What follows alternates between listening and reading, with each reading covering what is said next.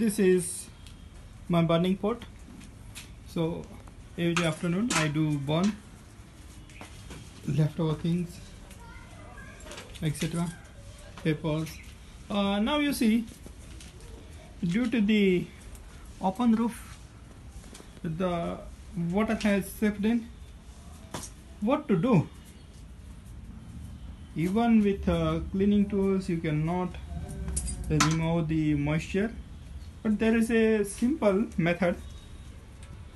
Uh, you see the legs of the animal cow.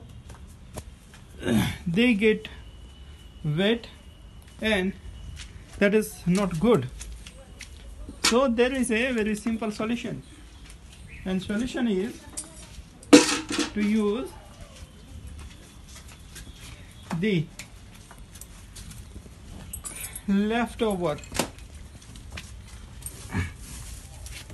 this this is the leftover which animal does not eat.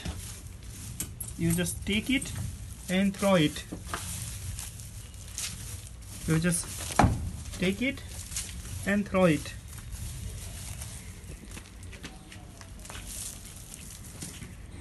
So it becomes dry. And when water dries up you just clean it up. This is the perfect solution